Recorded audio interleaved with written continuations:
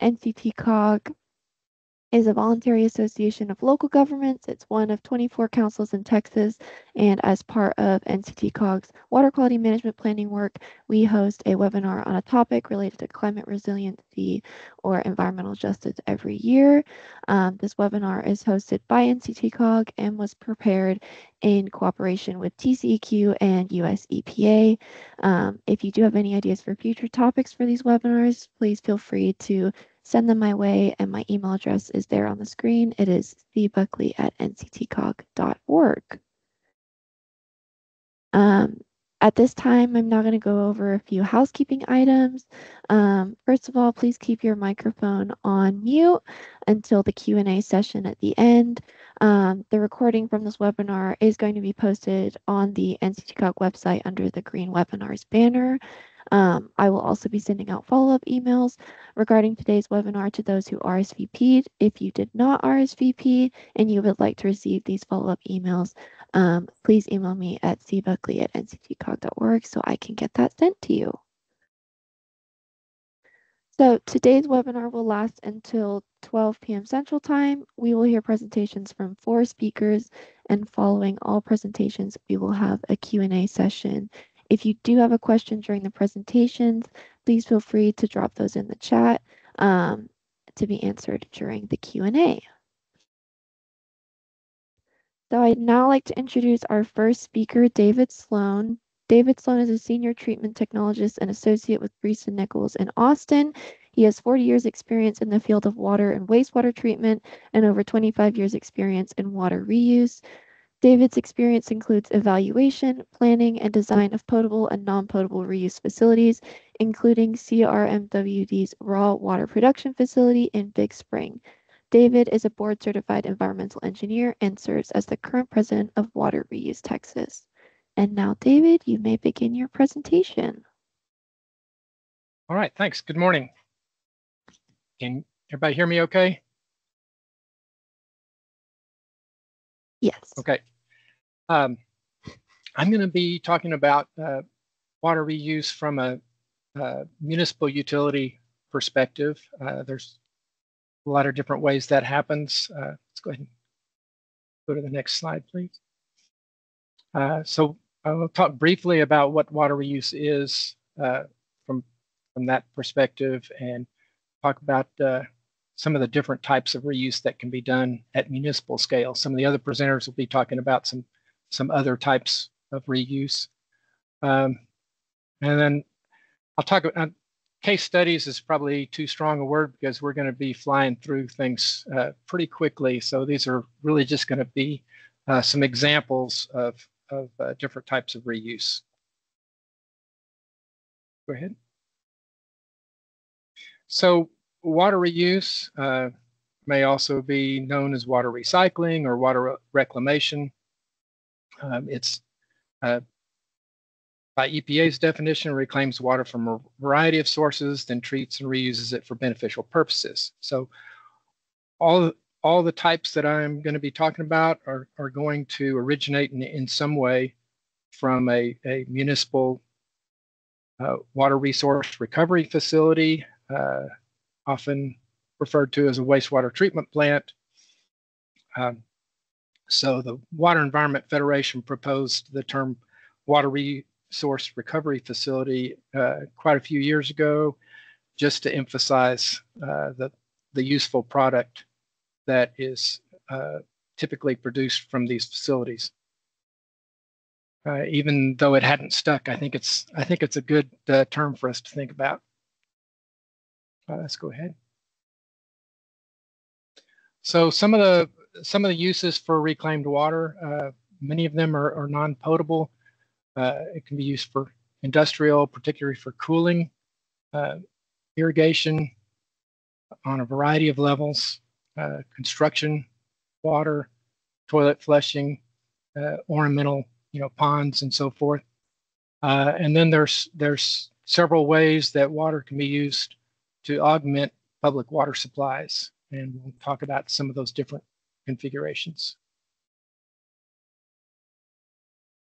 Uh, when we look at non-potable reuse, some of the implementation considerations we think about um, is where where this uh, where this utility is going to reside. Is it going to be uh, on the drinking water side? Is it going to be on the wastewater side, or is it going to be uh, an entirely new entity to accomplish the reuse?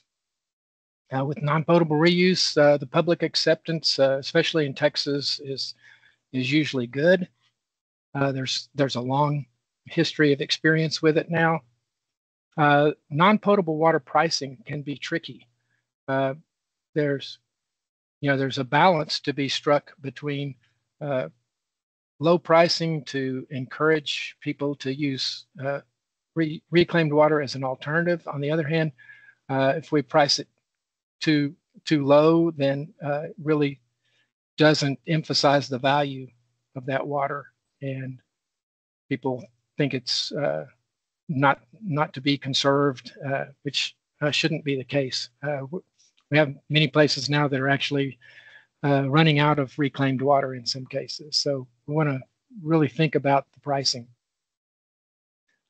Sometimes the payback may be slow, and when people consider uh, economic viability. Uh, sometimes they draw the circle too small on what the costs and benefits are. So I want to make sure we, we look at some of the offsets. Uh, you know, for instance, developing a new water supply uh, can be very expensive. And so if, if reclaimed water uh, postpones development of new supplies, uh, that can be a huge payback.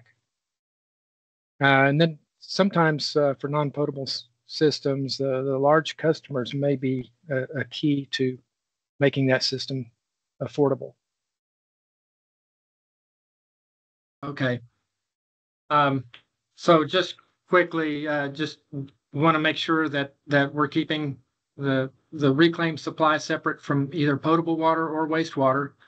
Uh, we want to have proper labeling and uh, understand that the delivery is on a demand only basis, which means uh, even if in the summer we're we're using everything we can produce of reclaimed water, uh, we still have to have that backup discharge or or uh, dedicated non-discharge uh, planned application uh, available as a backup. And then leakage and runoff are considered to be uh, unauthorized discharges.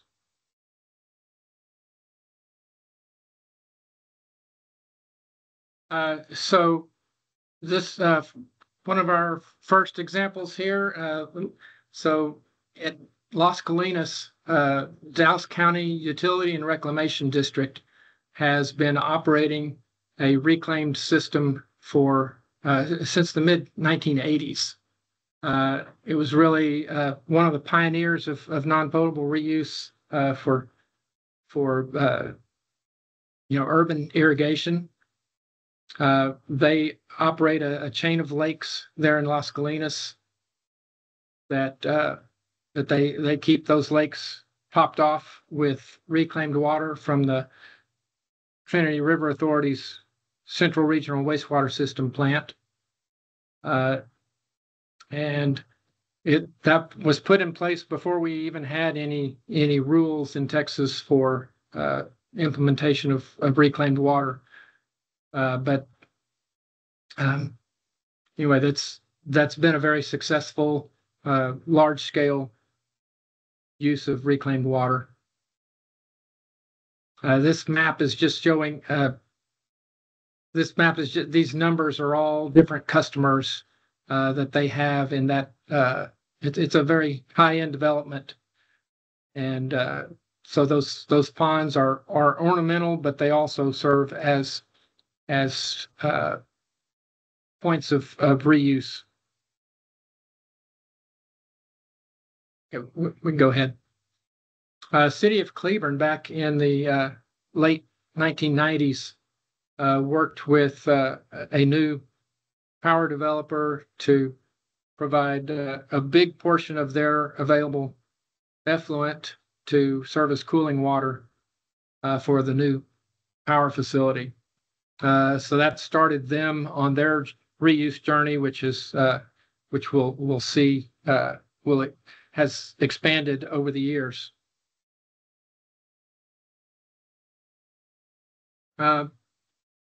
A lot of cities now are operating uh, what we sometimes refer to as purple pipe systems. So uh, they'll have reclaimed water that's furnished to uh, multiple customers for irrigation, uh, golf courses, parks, uh, sometimes uh, commercial or industrial uses. So this is just an example. City of Fort Worth has a system from their Village Creek plant that goes uh, all the way up to the DFW airport.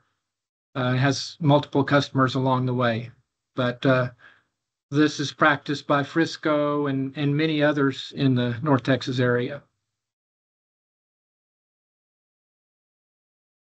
Um, I want to talk a little bit about potable reuse. Um, a lot of people have have been interested in it or scared of it or somewhere in between.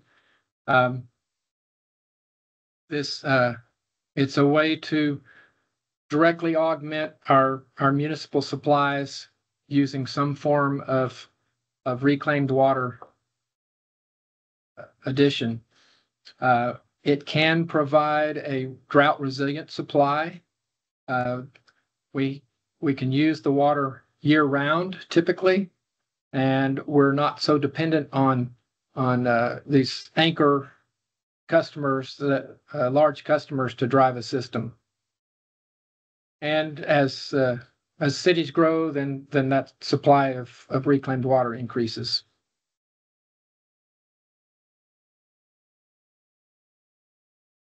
Uh, so when we talk, think about potable water versus non-potable water. Um, so non-potable reuse is is typically going to be very seasonal because it's driven by uh, typically by irrigation demands. Um, it's uh, of course demand driven, and it requires a separate transmission system, so separate system of pipes. And generally, it's it's setting up a new system with with its own specific customers. Uh, it's really gained widespread acceptance, and so it's it's been a great uh, source of water conservation. Uh, potable reuse is, on the other hand, non-seasonal. Uh, we typically go year-round. Um, it's it's relatively independent of demand because we're we're usually storing that water in some in some fashion uh, seasonally. Um, it relies a lot on existing systems. Uh, it does require specific treatment to make sure that we're we're keeping uh, the supply safe. Uh, there tends to be a lot of skepticism in the public, especially if they're not uh, well educated about the process. And there are some inherent higher risks with a potable system.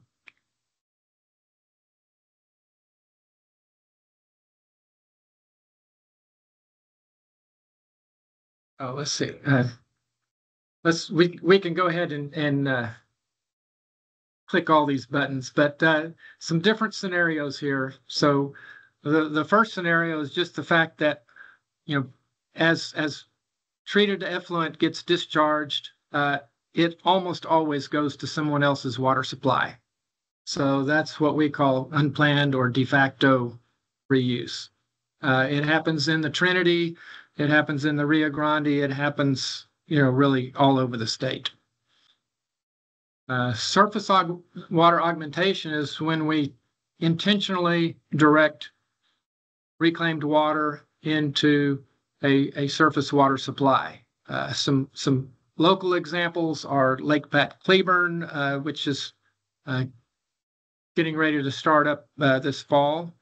Uh, Lake Weatherford is already in operation. Lake Arrowhead up near Wichita Falls is already in operation. Uh, then a, a, a, variation of that is river scalping with wetlands polishing. There's two really large systems in North Texas that do this.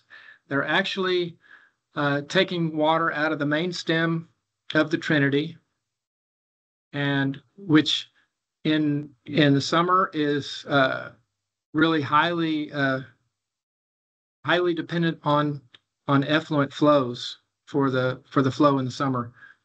And they're extracting that water from the main stem of the river, sending it through wetlands, which polish it, particularly for for uh, suspended solids, uh, keep those out of the the reservoir. Then that that the wetlands effluent discharges into, particularly uh, Richland Chambers Reservoir and Lake Lavon. So that's done by the Tarrant Regional Water District and North Texas Municipal Water District. Uh, groundwater replenishment is not uh, not very common in Texas, but El Paso has actually been doing that with reclaimed water since the 1980s. Uh, then direct raw water blending. Uh, so that would be taking effluent, treating it to drinking water quality, and then blending that with other raw water supplies uh, prior to final drinking water treatment. So that's been done now uh, by CRMWD, Colorado River Municipal Water District in Big Spring for uh, now 11 years. And Wichita Falls did it uh, for one year as an emergency project uh, using some facilities they already had available uh, back in the in the heart of the drought back in 2014 2015. and then uh, direct finished water blending is kind of the, the ultimate uh, potable reuse that that's taking that reclaimed water and treating it to a point where it can be directly uh, put into the, the drinking water distribution system. El Paso has a project uh, in progress to make that happen, uh, and that'll be happening uh, in the next couple of years. So uh, again, re reservoir augmentation. Um, this example is Lake Weatherford, uh, but again, that's uh, also happening other places like uh, Lake Arrowhead and, and will soon be happening in, in Cleburne. Um, the, the reclaimed water can, can increase the yield and keep the lake full even, uh, even if we're not uh, getting a lot of rainfall. Uh, it's, it's really important to model the, the water quality conditions uh, make sure that that uh, we're not uh, we're not degrading the quality of the water in the lake. Uh, key concerns are uh, nutrients, phosphorus, and nitrate, uh, protozoans. Make sure that uh, again we're we're keeping this water safe uh, year round. salinity can be a concern, so it's got to be balanced with the with the normal inflows and then suspended solids. It's uh, so this is a picture from uh, Tarrant Regional Water District's wetlands operation where uh, this the water after the wetlands goes into uh, Richland Chambers Reservoir. Uh, North Texas does something very similar, uh, pulling water from the Trinity, sending it through the wetlands, and it goes to Lake Lavon. So again, this this water uh, is a major contribution to the to those reservoirs and uh, really large volumes of reclaimed water uh, are occurring.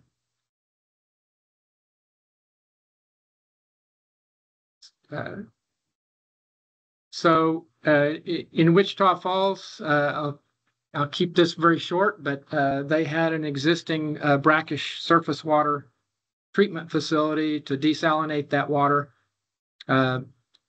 The water got so salty during the drought that they could no longer uh, treat that water with it, but they were able to get a temporary permit to uh, take a big portion of their their reclaimed water and run that through the desalination facility and then blend that with uh, their uh, raw water and go through their normal treatment process then. And they operated that uh, right at one year from July to July uh, 2014 to 2015. Uh, and, and they operated that until the until the drought ended.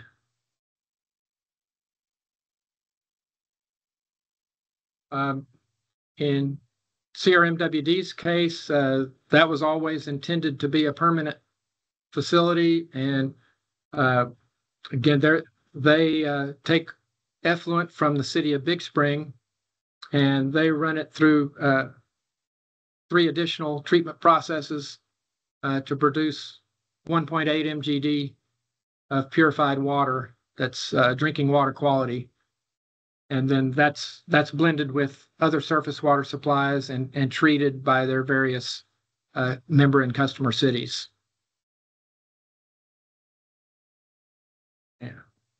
So this is just a a, show a, a, look inside their building, but uh, the the three processes are microfiltration, uh, reverse osmosis, and then uh, ultraviolet disinfection and oxidation.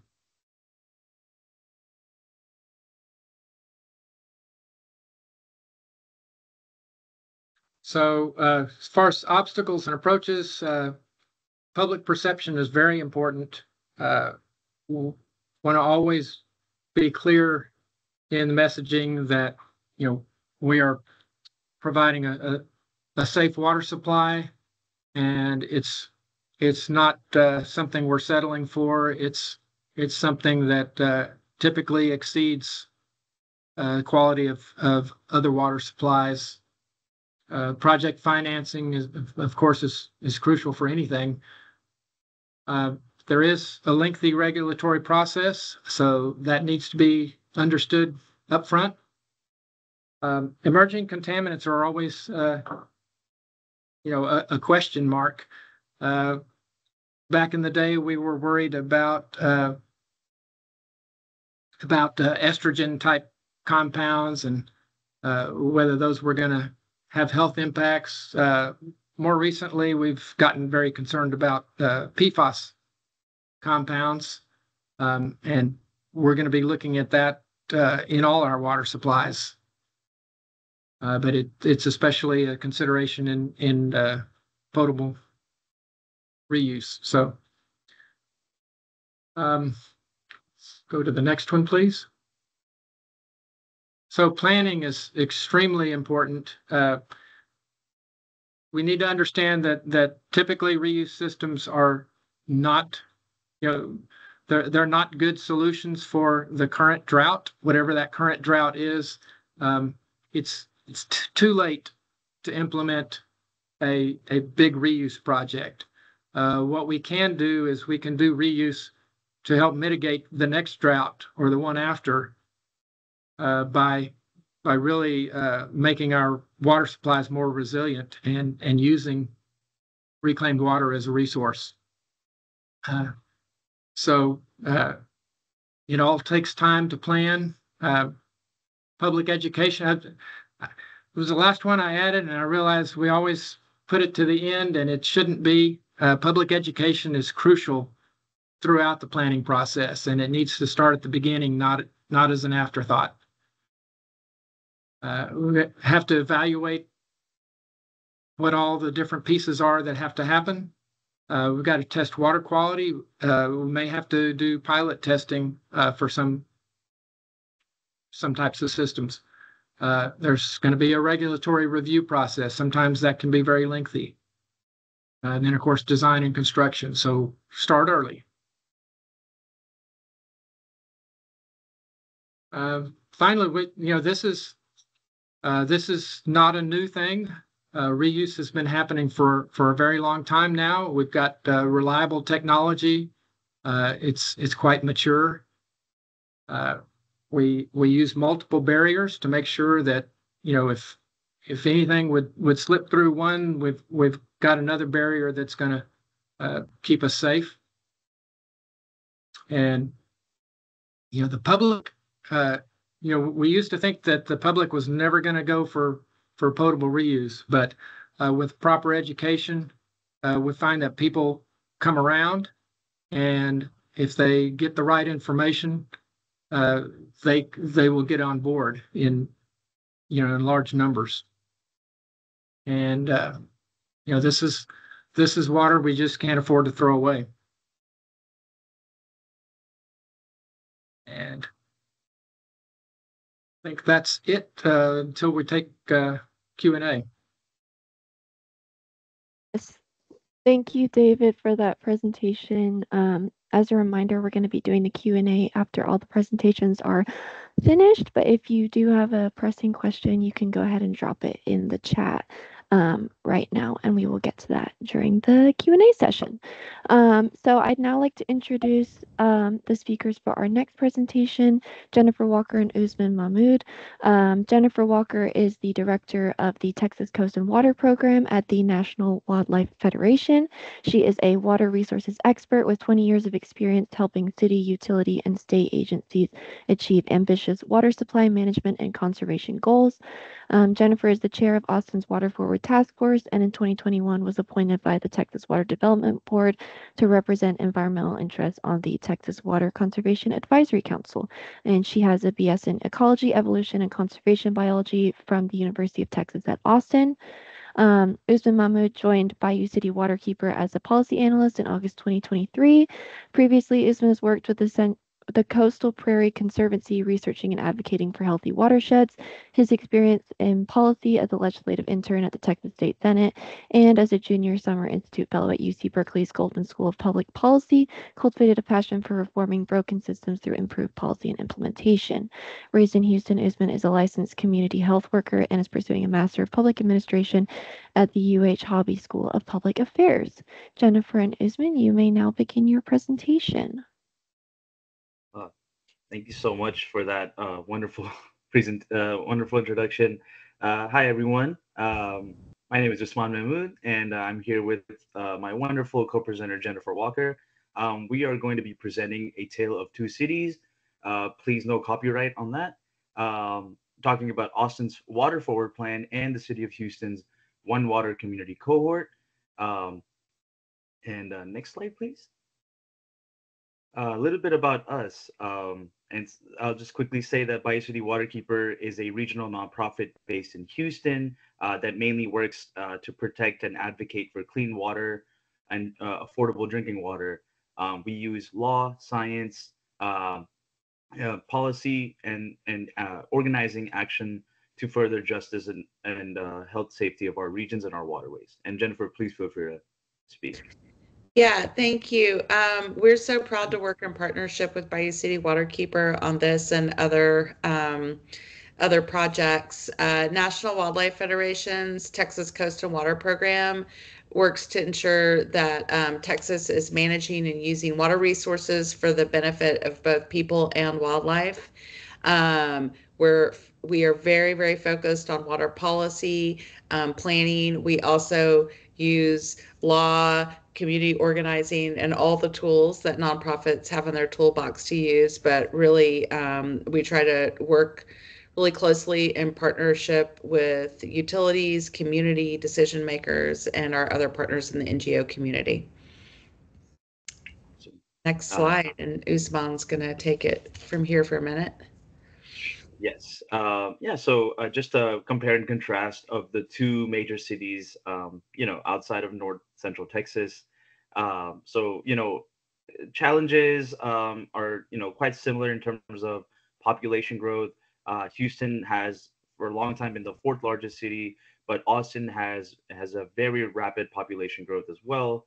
Um, so that means both of us are also facing uh, simultaneous water supply challenges, making sure that um, you know the projections uh, that we see for decades beyond uh, are matching what are what the waters are uh, in our reservoirs. Um, and of course, climate impacts. Um, Houston uh, just two months ago went through a derecho storm, incredibly rare, uh, but practically a tornado that happened overnight. And then, of course, we went through Hurricane Beryl just last week. Um, and so, you know, those sort of issues call for solutions. Uh, Austin has worked on a water forward plan, which is a hundred year water plan. Um, and you know they're currently uh, in the implementation process, uh, and there's going to be updates while it's under development. Uh, for the city of Houston side, uh, we are the city's involved in developing the one water plan and uh, you know non groups like uh, National Wildlife Federation and Bayou City Waterkeeper are making sure that communities can be part of that process through the focus on the stakeholder input. Uh, next slide, please. So we want to um, make sure and and um, ground everybody in one water and what one water is because that is really the focus that Houston and Austin have taken. Um, you know, one water has is is a somewhat newish term for a concept that's been around for a long time, integrated water resource planning.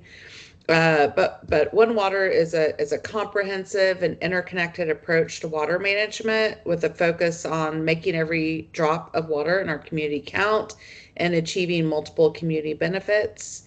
Um, it focuses on designing and building water systems with local water supplies and water stressors in mind, and considers drinking water, wastewater, stormwater all together as a system. Um, frequently, these can be considered individually and in communities, and, and they can all really be managed together. Um, a community's one water plan should be informed and led by community members that will implement and live with the plan, and the strategy should be designed with equity and affordability in mind, be reflective of community values, and anticipate climate change impacts. Um, the result really should be um, a long range, locally derived water plan that yields multiple benefits, um, utilizes innovative, reliable, and adaptive strategies to meet community water needs. Um, so, you know, One Water really, in my mind, aims to ensure that water is here both for people and the environment um, today and for generations to come.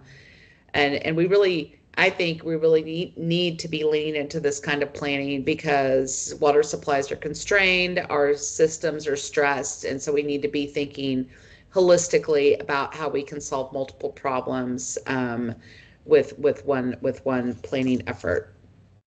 Next slide, please. And so some of the key principles of One Water. Um, you know, as as a community embarks on a on a one water planning process or is implementing a plan, is really you know managing this urban water cycle as an in a single integrated system. You know, I mentioned um, the stormwater, wastewater, and drinking water systems. You know, looking at at how they can be managed and managed in an integrated way maximizing water conservation, efficiency, and reuse, um, using as little as we can on a per capita basis to make our water supplies go further, using green infrastructure and nature-based solutions, incorporating community values into um, decision making. Again, the community is the one that has to live with and be part of implementing this plan in the end. Um, collaboration across city departments that are, maybe aren't used to collaborating. They're like, this is the thing we do and we do it well. And you know, maybe I run parks or energy and I'm not, you know, these people over here run water. These folks, we need to all start working together. And then intentional investment um, and really thinking about achieving multiple community benefits. And, and then also being really transparent and looking at scientific data, future climate projections, being real about our water supply and the impacts that we're thinking that we might see in the future um, with the goal of enhancing climate and community resilience. I mean, in Houston is certainly an area that it just keeps, um, you know, we've had a couple events within a couple of months. So community resilience is top of mind uh, uh, for Houston. Um, next slide, and pass it to Usman.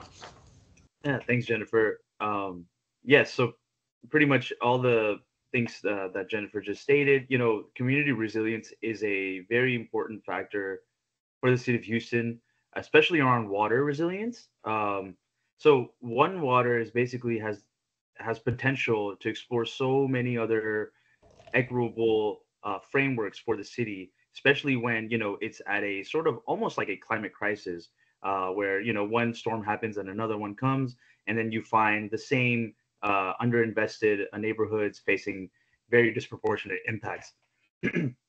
so uh, planning something like one water can can introduce you know more holistic and equitable infrastructure investments um, you know prioritizing uh, where investments haven't been consistently made. Um, you know it opens up opportunities to expand green infrastructure and nature-based solutions um, you know whether that's through codes or restrictions, uh, but you know, just opening up those doors, um, prioritizing resources for underserved communities, um, overall enhancing the climate resilience um, across the three systems: drinking water, wastewater, and stormwater. Um, and of course, there's larger goals as well, uh, including water quality improvement, um, as well as saving costs by making it efficient um, and optimizing water use across, uh, you know, public, private, industrial sectors. Uh, next slide, please. So there are some key players hap- uh, that are part of the One Water plan in Houston. Uh, of course, the city of Houston is involved, um, and it has gone through you know some challenges. Um, when they announced the One Water plan uh, in the fall of 2023, um, just a few months later, we had a new mayor and a new administration, and so you know there was a lot of navigating uh, new staff, um, new priorities from the uh, administration. Um, but the other key players, of course, J- uh, Jacobs Engineering, who are the contracted consultants on the project, and um, they are working with the city. Uh, and of course, the stakeholders that both we view, we view and these other key players see are community, industry, and utilities. Um, so currently, the One Water Plan in Houston is in phase one, which is the really the stakeholder outreach and engagement part. Um, what we uh, what we've been doing, uh, you know, National Wildlife Federation and Bayou City Waterkeeper, uh, is we're keeping um, you know close dialogue with the City of Houston staff working on One Water, to as well as um, Jacobs to just uh, help understand where they are in terms of developing their guiding principles and their community vision, as well as a equity roadmap um, that are all sort of deliverables that have been, uh, you know, that are supposed to be part of this process. Um, you can see it says complete by July 2024. Um, that is what we were told, but um, of course, there's been setbacks and delays, part, uh, particularly by the new administration. And so uh, we're still hopeful that it could come this month, but well, you know, we, we are in close dialogue and we'll uh, get any updates that we need uh, before they move on to phase two, which is the two-year process where they begin, uh, you know, figuring out the development of an integrated system uh, with those three systems. Uh, and of course, this all should include uh, very digestible, incorporated community input that they should be getting uh, from phase one. Uh, next slide, please. So the Houston Water Department, um, how we're engaging is uh, you know, we have experts like Jennifer on our team, as well as uh, what we've done with our cohort. Uh, we're able to share the expertise from One Water processes in other communities and cities that have developed these plans. We're able to share that, uh, and they have been, uh, you know, open to uh, receiving those uh, resources and examples as well. Um, you know, leveraging, you know, what we've seen in other states and across the nation as well. Um, really, we're trying to ha- create that support for really robust stakeholder efforts. Um, you know, how can we be the liaison or the, the bridge to community members um, that Houston Water can reach and ensure that their value, their input is uh, valued. Um, you know, that that's where our efforts with just our engagement with city and state leadership is coming from. Um, and yeah, and the overarching goal is to just get those resilient water supplies and achieve those uh, community benefits. Uh, and next slide, please. So uh, the our two organizations, uh, what we've done is we are trying to build water champions. So we have established a One Water community cohort in the city of Houston. Uh, it is an amalgamation of folks that are focused on conservation, uh, you know, land, wildlife, um, and then there's folks who are on the environmental justice side, uh, you know, activists who are fighting for community and climate resilience. So we are trying to actually build a larger community grounded expertise on One Water, uh, so that we can, you know, help ensure that we are very active participants uh, in the One Water planning process that the city is doing. Um, uh, yeah, and you know, I just named some folks that are community members, conservation, water justice, uh, our main goal is to leverage the community buy-in with this dialogue that we're having? How can we ensure that uh, you know the community members are actually um, you know equitably being engaged enough to ensure that they they they understand what one water is and why they should be uh, sort of buying into that.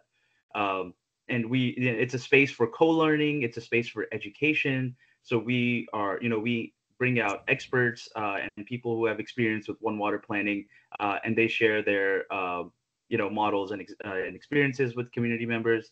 Um, and we have active communications about you know what our priorities are.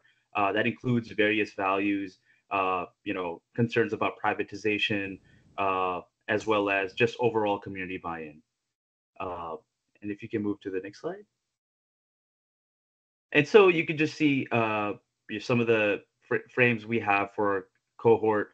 Uh, we have monthly check-ins, uh, virtual, of course, but you know, uh, these are a, a, good measure of us bringing us bringing them any information we got from our dialogue with the Houston Water Department, any development in strategy, uh, any new learn learnings that we've had. Um, that we can really meet with a cohort and and strategize on.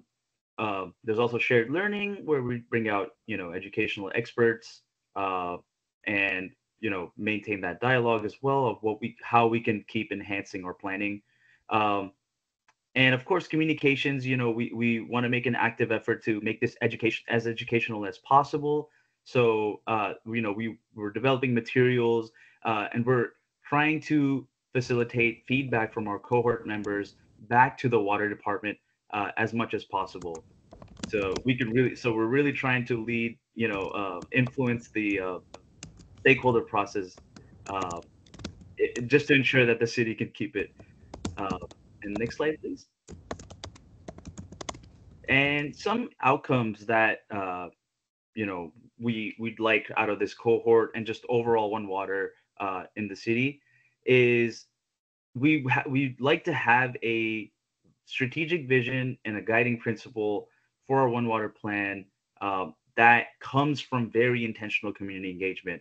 Um, this is something that the city of houston may sometimes lack in. So that is that is why it's a number one sort of uh, uh, outcome that we'd like. Um, of course um, the whole purpose is to build a resilient adaptable sustainable water supply uh, you know, ensuring you know whether that can mitigate flood impacts um, if, if it can incorporate green infrastructure um, and just overall protect our bayou, uh, bayous and waterways. And you know if we can succeed in the having a water one water plan that, that is intentional in its community engagement then you know we can serve as a blueprint. And of course it could be a very transformational uh, achievement for the city. Um, and I'd love to now transition to jennifer uh, if she'd like to share experiences from Austin and her involvement with our uh, cohort in Houston.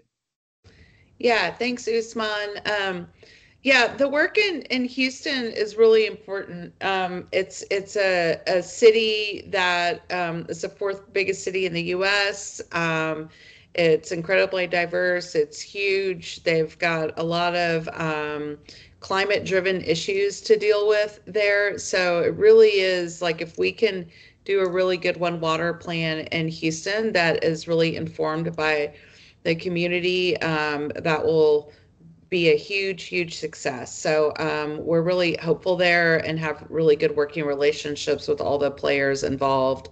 Um, a lot of that is really informed by um, our experience in Austin. So Austin was one of the the first communities in Texas to really look at one water as a water supply um, as a as a theory kind of of change for our water supply. Um, you know, we we are have been growing like crazy. This picture just blows my mind every time I see this like comparison um, from across uh, from down um, on Ladybird Lake and looking at just how the how much the city core has changed, and that's reflected all throughout the city. Um, one of we can go to the next slide too. Um, so, you know, one of one of the things to note is um, we do have a, our one water plan or integrated water resources plan. It's it's our hundred year uh, plan, looking hundred years out to the future. It was adopted by City Council in November of 2018 and identifies diverse water management strategies to adapt to our growth, um, frequent drought, and climate change that is is already apparent and and will continue to kind of um, impact our region. Our goal is to ensure a sustainable, resilient, equitable, and affordable water future for our community. Um, um, as as Kareen mentioned, I serve as the chair of the Water Forward Task Force in Austin. Um, Austin's my home. Um, Sharlene, who you're going to hear from next, is actually the past chair. So those of us water folks that live in Austin have been really involved in this process. Um, but a little bit about how we got here. You know, Austin was in a really deep drought. Um, the 2011 through 2015 drought and Austin was really looking at alternative water supplies, emergency water supplies. And and and city council said, "Hey, let's take a a minute to think about what our emergency water supply should look like and what our water future looks like. And one of the recommendations from this group that Sharlene and I both served on was that Austin needed to develop an integrated water resources plan, uh, a water plan.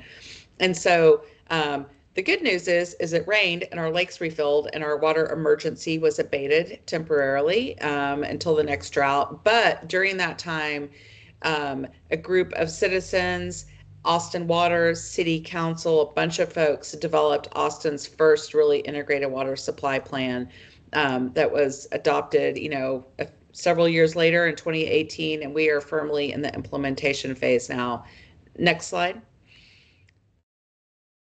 Um, so uh, the the plan really um, continues to focus on water conservation, water use efficiency as one of our core supplies and, and kind of community um, uh, priorities. Uh, the city of Austin has water supplies on the Colorado River and a contract with LCRA, but that basically was our sole source of supply um, until this plan came along and we're working on implementation. Um, we're really trying to strengthen the long-term sustainability, reliability, and diversity of our water supply through maximizing locally available supplies.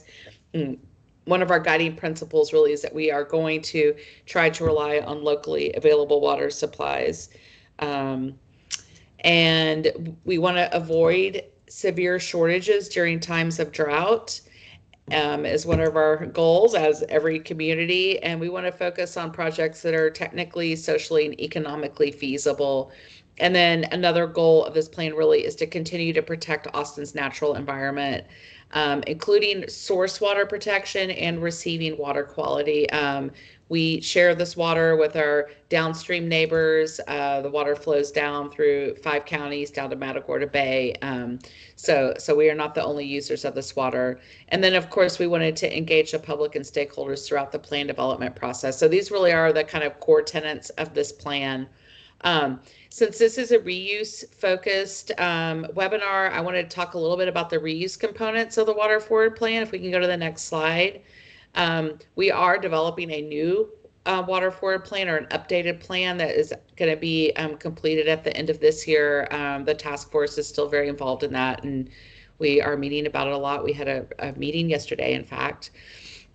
Um, so thinking about reuse and Austin's water forward plan and how how it shows up there, um, and you know our, our goal of relying on locally available water supplies, um, which means leaning into reusing water at all levels, and also means that we are going to try not to import water from other areas of the state. We don't want to remove water from other communities and impact their future sustainability or resilience. Um, so we are growing our non-potable water supply to meet non-potable water needs, um, which will which will reduce pressure on our potable water systems. Um, we have lot scale stormwater harvesting, rainwater harvesting, gray water reuse, building scale reuse, centralized and decentralized systems. So we've got a lot. You probably can't read this table with all these numbers and, and letters, but uh, we do have, um, there is a, a summary of the water forward plan available online. I'll find the link while Sharlene, Sharlene is presenting and put it in the chat. And then this little table here with the pie charts just shows this purple piece is is the growing proportion of non-potable water that it makes up our water supply. Of course, we're going to need more potable water in the future, but we can't meet all of our water supply with potable water. Um, next slide. Um, this is, um, depending on how you like to intake information, a different kind of view of those pie charts, but it overlays our population. Um, in 100 years, they're projecting, I don't know how this is possible, but the population of Austin, and this is not the whole, you know, this is the service area for Austin Water um, that we're going to grow to 4 million people from just over a million now. Um, we are projecting that our per capita water use will continue to go down, which is great and will be very much needed. But looking at this chart, you can see the top bar is our current water conservation measures. Um, we do quite a bit of water conservation in Austin, and we're actually looking at ways to increase that. The next bar down, um, um, looking from top to bottom, is additional water conservation and demand management measures. So that will continue to be a really core part of our water supply. The little gray bar, the third bar down, is on is on-site reuse, um, which is the growing piece. And I'm going to talk more about that in the next few slides. But on-site reuse, we just passed a really important ordinance here, and this will now start to grow in our community, become a very important piece of our water resilience. And then the purple bar, which you see gets bigger, is our centralized reuse system um, which also continues to grow. And we will continue to invest in building it out. Um, and then the blue, of course, is our potable water supplies um, uh, from the Colorado River. Um, we have ASR projects in the works and other things. So let's talk a little bit about our new water ordinance. Next slide our on-site water reuse ordinance. And I apologize, I should have put these next two slides in opposite order, but you'll get the whole picture with this slide and the next one. Um, so how are we going to grow reuse in Austin? Um, like I said, we just passed an ordinance. It's been um, it's been in a voluntary phase for a couple years, but as of April 1st, we have a new a new ordinance in town. I'll describe it in the next slide. But um, one of the things that we are thinking about is is um, how are we going to encourage people to do this? So we've got um, affordability incentives. Um, Austin Water is going to provide incentives and grants for reuse and conservation, including monthly reduced uh, reduced monthly fixed charges, expediting uh, building permit review process because these on-site water reuse ordinances apply to commercial properties. Um, uh, there's going to be a low interest loan program that Austin Water is going to implement, and they'll and then there's also going to be a cost sharing program, like a cost sharing for extending our centralized reuse system to developments that want to take part in it. And of course, there's the PACE loan program uh, that that um, that developers can access to help blunt the upfront cost of dual plumbing a building or hooking up to a reuse system or including um, storage for rainwater harvesting or AC condensate. And then there's also the savings that we're going to have. You know, Austin, every city has a contract for water, and there's certain conditions. Um, the more water that we locally generate, um, will save our community. Um, we're looking at, at about a $10 million annual cost savings to customers. And and some of the ways that we're funding this is we have now in the last couple of months, we now have an extra 15 cents per thousand gallon charge on our water bills. It's a community benefit charge. And this is going to be used to fund reclaimed water system expansions and on site reuse programs. So everybody in Austin um, that uses water above a certain rate will be paying 15 cents per thousand gallons. Um, I think that it was like about $2 per, like a dollar fifty to $2 per bill based on the average bill.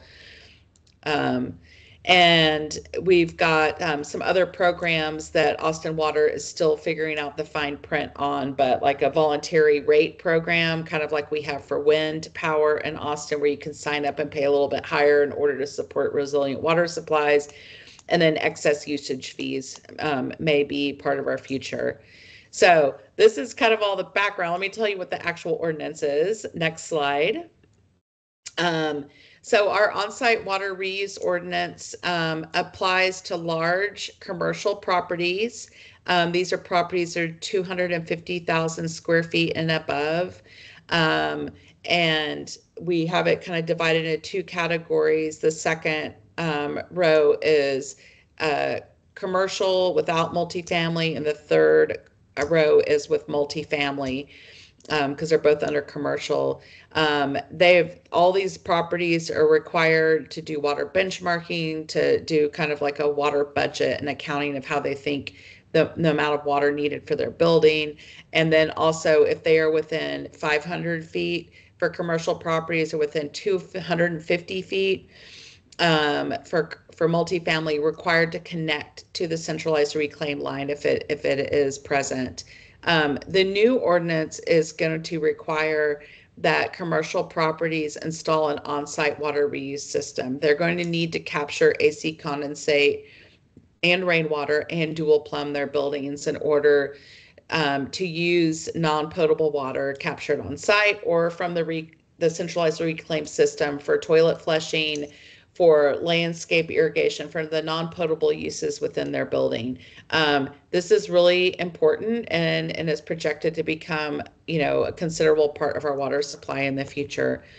Um, multifamily properties, kind of the nature of how they're built, are also going to be required to install an on-site water reuse system as well. One of the things that we spent a lot of time kind of wrestling with in Austin was affordable housing. Um, housing and affordability is, is a big deal, and and um, we want to make sure that that's not impacted. So affordable housing um, is exempted from this, but the exemption means that Austin can actually cover the costs of this. So we don't want to exclude affordable housing from the benefits of having this resilient water supply attached to the actual development but we also want to make sure that we're able to cover the cost for that and not increase the cost of those of those buildings and and make um, have an affordable housing impact. Um, next slide. I want to go through an example of kind of how this works. Many folks may be familiar with the Austin Public Library. We had a great tour of it for folks that came to the Water Conservation Symposium earlier this year. Uh, but the Austin Central Library is 200,000 square feet. Um, it um, is connected to the Austin centralized reuse system, but it also generates water on site by collecting rainwater and AC condensate. Um, this water is collected and stored in a 700,000 gallon tank. Um, so huge. It's a huge tank, and it's it's there. It's a remnant from from um, the electrical generation plant that used to be there. So it's real good to dual purpose that. But um, but that water is then transferred to 1,200 gallon cistern, where it's then used for um, landscape irrigation and for toilet flushing at the at our library. So this system provides 90% of the water that is needed to operate this building.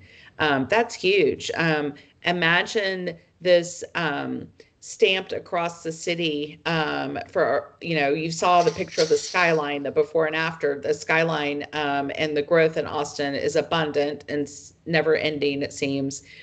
So we need to make sure that all this new development is making water um, for itself um, and and reducing the pressure on our potable water system. So this on-site reuse the the growth of the centralized reuse system um, are both our, our big goals of, of our community and, and we're relying on locally available water supplies, reusing water that we already have.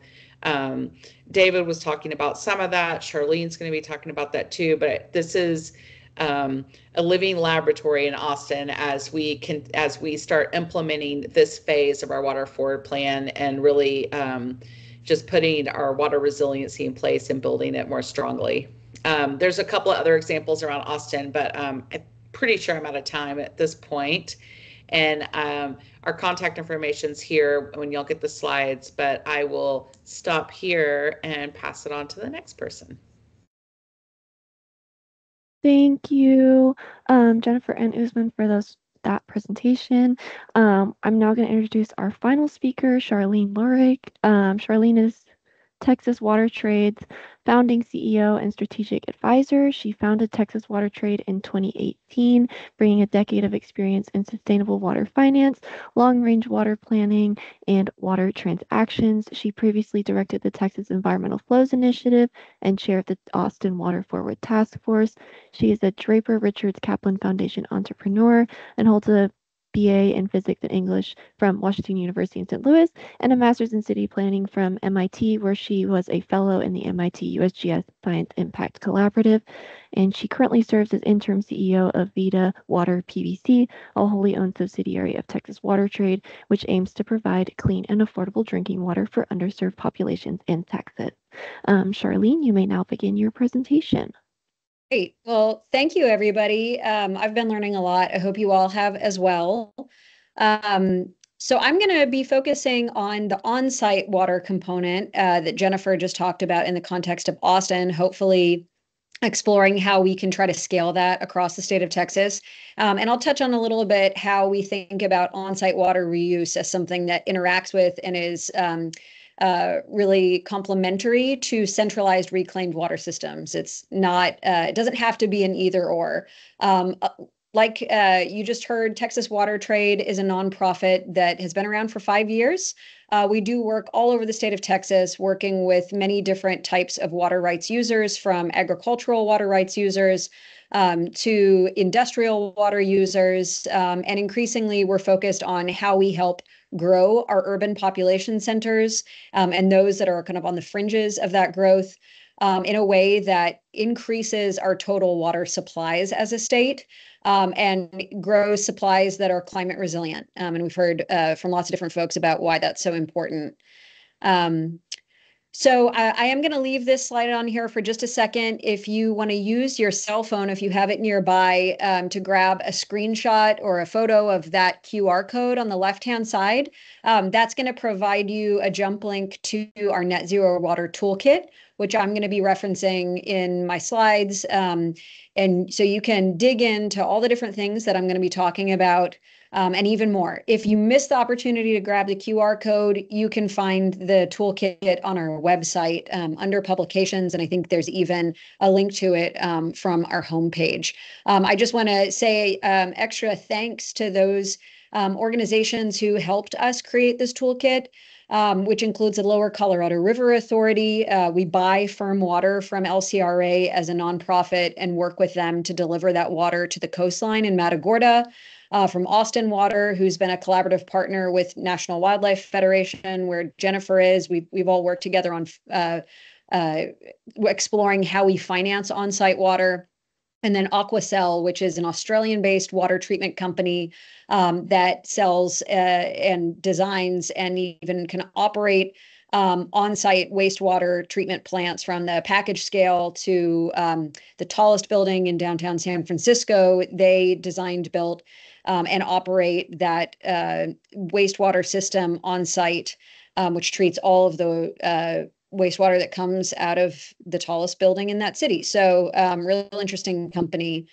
Um, and something to be thinking about as we're exploring kind of the ecosystem around on-site water. So um, we talk about on-site water sometimes in terms of net zero water, and I'll just take a second to explain why we do that and what that means. Um, so one, the reason that we talk about net zero water is um, we think that it's foundationally important to look at growth, population growth, and new development, um, and even ur- urban infill development as something that can be a supply of water that can serve its own needs and as we'll explore even provide enough water sometimes to go beyond what that building demands and actually not only fully net out its uh, water demand that it's putting onto the system but there are a, there's a growing portfolio across the country of projects that are called net positive in fact, if you're really interested in the concept of net positive water and water reuse, there's a whole conference on it related to industrial water use that's going to be happening uh, through the Water Reuse Association in Indian Wells, California in November. Really interesting growing field. Um, we tend to like to talk about net zero water uh, because it helps us take what can be a very political uh, kind of adversarial conversation it depending upon where you are in the state particularly in central texas where water is kind of seen sometimes as a tool to prevent development from happening instead we try to frame this up as a way that developers can be part of the solution of growing our total water supply across the state. Um, not every project and in fact many projects are not going to be truly net zero today in our current operating environment. Not because they technically can't get there but because all of the different things that shape whether you how you tap into the water that's available within the built environment there's not all of the kind of policy and regulatory enabling factors in place for us to build completely off-grid buildings from a potable water standpoint a lot of what I'm going to talk about today is about the non-potable components of buildings demand and communities demands, um, which of course is the lion's share of the demand that they place on our water resources. Most of the water that we use does not need to be of potable quality. Um, so really net zero is about a design mindset an awareness, a different way of seeing the built environment um, that can help us unlock very deep water conservation. So um, we have to think about it as something that is more powerful than the type of water conservation we can achieve through low flow uh, fixtures and toilets. Of course, that's very powerful as well. And many of your communities have probably found more water available within your current supply through that kind of traditional form of water conservation. Um, but the buildings and the communities that we're going to be talking about with on site water um, are able to go so much deeper than that in terms of total water conservation compared to a typical building. So these are presenting maybe as little as 10 to 30% of the type of demand on centralized supply as a typical building. There are really great synergies with the demand they place on constrained wastewater systems as well. And that might speak more to where your community is, uh, particularly if you have a lot of legacy wastewater infrastructure that's really constrained as you see more density coming into your communities uh, it helps to get more life uh, out of out of those facilities as well. But remember it's a design goal. So it's not about if you can't build a building that fully nets out its demand then there's no reason to look at it. It's about how we rethink what the built environment is and then make our way toward that new way of sourcing our water and our water treatment services. Um, We've heard a lot about this from Jennifer already. Um, I won't fully exhaust all the forms of water that are available to our built environment, but just imagine it's everything from what buildings are passively doing. So um, they're passively intercepting groundwater. If you're building a parking garage or any sort of sub basement, most likely there's a sump pump that's having to intercept that water. Um, and then it's discharging it into your wastewater system. You're paying that fee as the building operator for that. Um, you are generating just by happenstance air conditioning condensate by uh, controlling the climate within your building. Um, I'll talk a little bit more about what a phenomenal supply of water that is. Uh, but that you're just doing that by incident. You're not, or it, incidentally, you're not trying to create those forms of water. They're happening within the built environment. We often think of them as waste, but they can be quite substantial. Um, and then the we look beyond that to the other forms of water on site uh, that we actively try to capture and reuse. Rainwater, when it's hitting a roof surface where it's pretty clean, that same water, if it lands on a parking lot, is storm water. That has very interesting implications when we start thinking about reusing those forms of water. If you're concerned about non point source pollution, and I know this is a water quality group, and so that might be something that unlocks opportunities within your community where you're dealing with non point source uh, discharges. And sometimes that, that can limit your point source discharges if you're operating a wastewater utility. So, very interesting to think about the nexus there. Um, and then beyond, even, to capturing sink and toilet water for reuse. Um, the amount of water that you can generate from a building, of course, is going to be very site dependent. And so context is everything. We're really grateful to Dr. Robert Mace at the Meadows Center for Water and the Environment in San Marcos for working with some folks to develop what we think are the first uh, kind of gradient maps in Texas that can help you connect climate, whether that's humidity or whether it's rainfall uh, for a building of the same size, the same roof uh, size that's intercepting that rainwater, the same storage size. In this case, they were modeling 30,000 gallons of storage for that 3,000 square feet of rooftop catchment. Um, or the same tonnage. Um, so I, I wasn't super familiar with air conditioning tonnage, but basically for every four to 600 square feet of climate controlled space, you have about a ton of air conditioning capacity. And so if you're looking at a 100,000 gallon, I'm sorry, a 100,000 square foot building uh, in the Dallas area, you're generating uh, 500 gallons per year for every ton of air conditioning you have on hand. Um, and that's roughly 7,000 gallons a month that you're just kind of passively generating because you happen to be cooling the space. Uh, so context is everything, but these are large volumes of water. Um, and as we start to think about uh, on site water planning, just like we would be thinking about a traditional water planning portfolio, we want to create a nice diversified portfolio that we know is going to create reliability throughout seas- uh, different seasons of demand and supply. Um, and also be resilient, as resilient as possible to any sort of long term climate changes that might be happening, or even kind of shorter term climate, severe climate events like uh, droughts. So, air conditioning and rainwater catchment really interesting supplies to try to pair within a building environment. Uh, rainwater obviously is reliant on how much rain is going to fall in any given year, but those months when we're not seeing a whole lot of rainfall, we're still producing a ton of air conditioning condensate. Similar water quality, similar treatment trains. They can be stored in the same cisterns, which you wouldn't necessarily want to do with dirtier forms of water. Um, and so that's a real interesting insight that you can learn more about through that toolkit. Um, there's no, the tricky part of this, just like water supply planning, is there's no one answer to how do you actually tap into the water resources that are available to a community or a single building or a corporate campus or a school campus. Um, there's an array of options. And so there's some user um, expertise required to navigate the different options in front of you and think about it in terms of a regulatory complexity kind of cost uh, implications for building it and then operating it. That's super, super important and often not well thought through.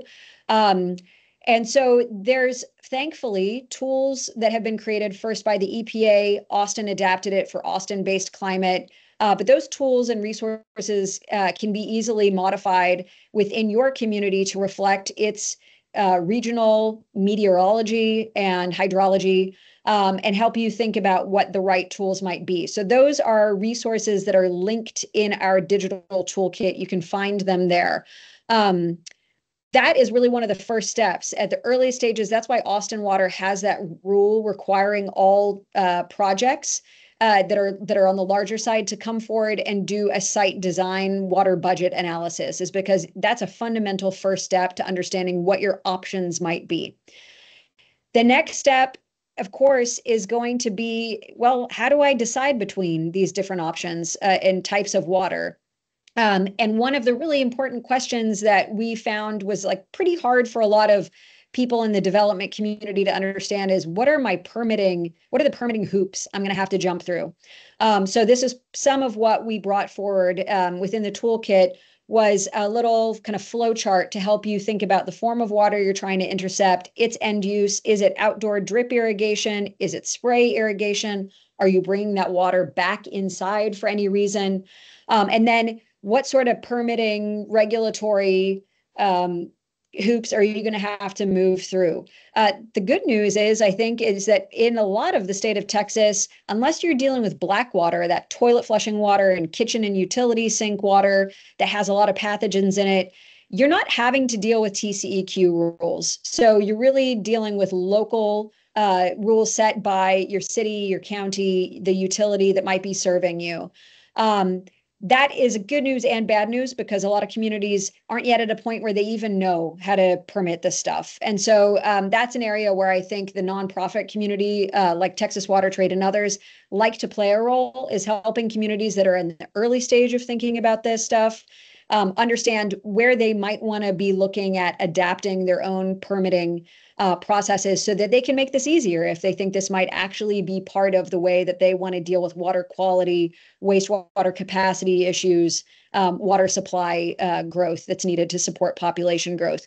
We also wanted to talk about the financing tools that can help developers and communities build this stuff without dealing with the inherent disincentive of, okay, now you're asking me to dual plumb a building. Now you're asking me to do water treatment on site, how am I going to layer that into all of the other needs that I have as a developer, as a builder, um, as an owner operator of a building. All of them have different holding periods, different incentives. And so we just wanted to do a kind of a landscape exploration of all the tools that have already been developed in the state of Texas that help us build our built environment, including our traditional water infrastructure. And many of those tools are relevant to the types of stuff we're talking about here today, whether that's centralized reclaimed or it's on-site water reuse. And when we start looking at on-site water reuse and even connecting to Purple Pipe, there's some really interesting stuff that is used quite a bit in places like the DFW Metroplex. Uh, public improvement districts are one. They haven't really been built out at scale here in Central Texas. A lot of communities are still early in the stages of figuring out how you negotiate those agreements.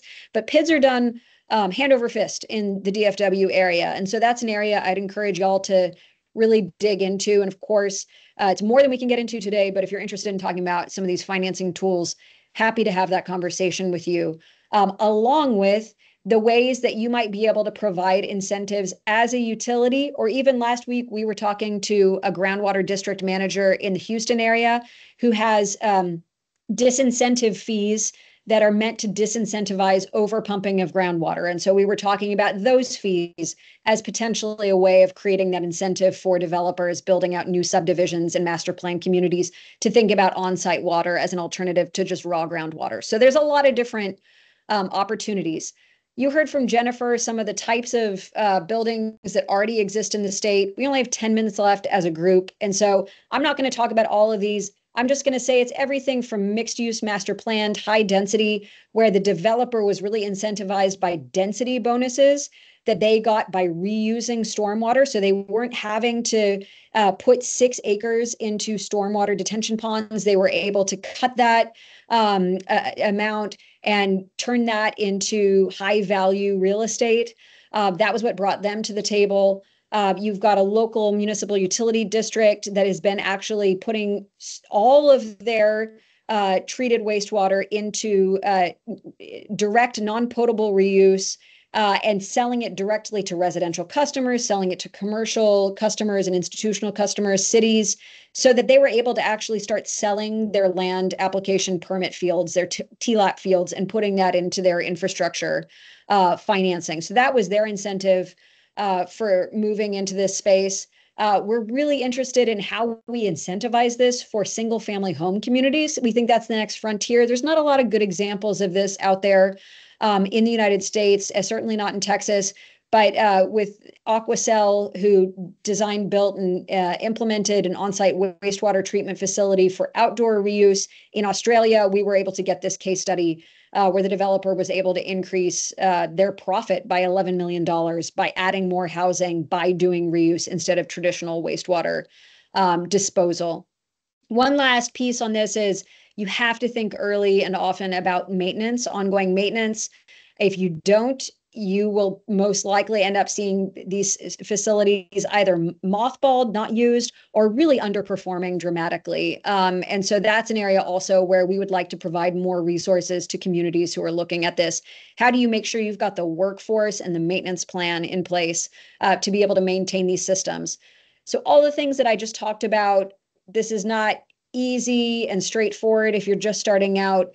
Um, we would love to provide support. We are so happy that last week we were able to bring on board our net zero water engineer. This is a professional engineer who can provide support from uh, initial site planning and design analysis, water budget, uh, and kind of permitting analysis to working directly with communities uh, to help them figure out how they might be able to shape some of their incentives um, to bring forward projects, not just in the public sphere, um, all of our municipal buildings and schools, but it, also in the private sector, um, all of the new communities that are that are coming up in our communities. So um, really thank you for your time today. Thanks to the COG for hosting us, and I'll stop there. Great. Thank you, Sharlene. Um, we now have some time for questions. So you can either use the raise hand function and I will call on you to unmute your microphone and ask your question, or you can put your questions in the chat box and I will read them out loud.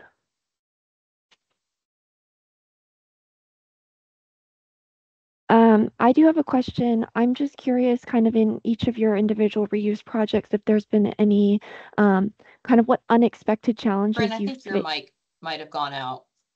Oh no. Um,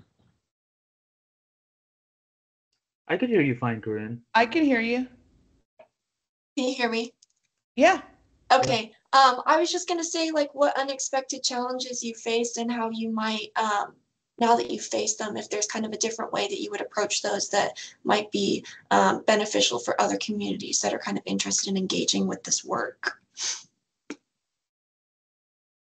Well, uh, we we haven't at National Wildlife Federation actually implemented any projects, but I will say, as far as getting policies in place that are going to support the growth of reuse in our community, some of the unexpected challenges that we ran into was well, actually, it was expected, and Charlie you could probably add to this too, but but the um, the the affordability question. So it's really important to um, have some solutions in place for that, or some ideas, and and and you know, for the water utility or the local leadership to think of ways to cost share or incentivize and to make known like Texas Water Trade and National Wildlife Federation did a report looking at the PACE program and really dug into how it could be used for these types of strategies um, we have looked at affordable housing because we knew that that would be an issue and and and making the case for inclusion of resilient water supply strategies and affordable housing.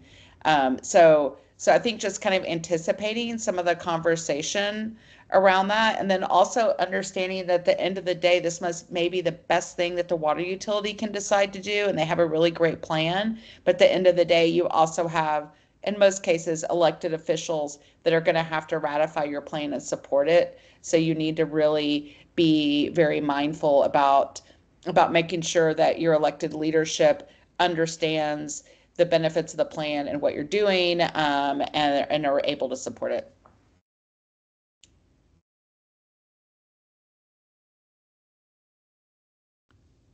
Great. Okay, well, um, are there any other questions? Okay. Maureen, while, while you're waiting for other questions, I'll just kind of um, build on that a little bit, which is to say again that the, this question of ongoing maintenance and workforce really can't be overstated. Um, and I really am very appreciative of efforts within Austin Water, which is right now in the process of developing a um, on-site water operator certification course um, and test, which they're coordinating with other national entities to develop. We think there's broader national relevance because, um, as I mentioned earlier, you don't have to have TCEQ permit, you don't have to have a TCEQ licensed operator to operate these systems unless you're dealing with Blackwater. Um, and yet, they take skill, they take expertise. Um, there is a public health dimension to it because water can grow stuff. So it's real important that you do it um, the right way, not only so the system keeps working, but also so that people can safely interact with that water. Um, and so that's another thing that I'd really recommend people to keep an eye on. Um, that certification course is going to come out in the spring.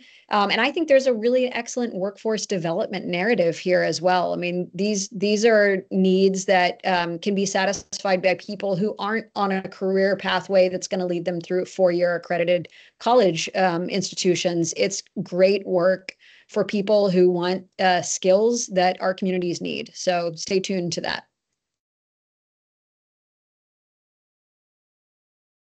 Great. Um, that's really good to hear. I know there's like the building operator certification, so uh, that there's kind of a water aspect to that as well. Um, is quite exciting. Um, I don't see any questions in the chat, and I don't see any raised hands. So um, as we're kind of, oh, David, do you have something to Well, I, add? I was, I was just gonna chime in, uh, as far as lessons learned goes, uh, you know, for those of us that are, are trained as engineers, uh, we, we think we've, you know, got a good handle on things and, and we know what we need to look at and we're gonna come up with solutions. And, you know, we really need to look at these examples of the, the one water approach where we're really reaching out to a wide variety of voices and, and perspectives uh, to see problems that uh, those of us that are you know, really technically focused may not, uh, may not grasp on our own.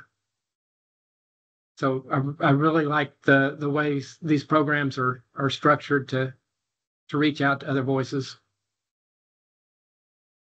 yeah, collaboration is definitely, um, I think, very beneficial in this um, this topic. So, um, so it looks like we're kind of nearing the end of our time. Um, so I'm going to start wrapping up. Um, just as a reminder, for those who RSVP'd, you will receive a follow-up email. And if you didn't and you would like to receive those materials, um, to go ahead and send me an email. The email's on the screen there. Um, as well as the recording is going to be posted on the NCTCOG website um, under the webinars banner. Um, I'm now going to put a survey link in the chat. Um, if you could please fill that out and provide us with your honest feedback. Um, that really helps us um, kind of improve our future webinars and make sure that we are um, presenting you with information that is actually valuable. So with that, um, I'll say thank you again to everyone who listened in today. Um, and again, thank you to our speakers, David, Jennifer, Usman, and Sharlene um, for taking the time to share the information with us. Um, and so with that, the webinar is now over. Thank you, everyone. Thank you. Thanks.